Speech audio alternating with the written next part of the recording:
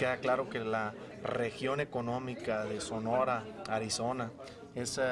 tiene un potencial enorme y yo voy a trabajar como gobernador para poder tener la mejor relación y detonar al máximo el potencial que podemos tener los dos. Y que les quede muy claro que Sonora se quiere y va a poner de moda y queremos eh, pues, eh, ser un, un gobierno facilitador para que no tengan los problemas que tenían en el pasado para poder invertir en el Estado.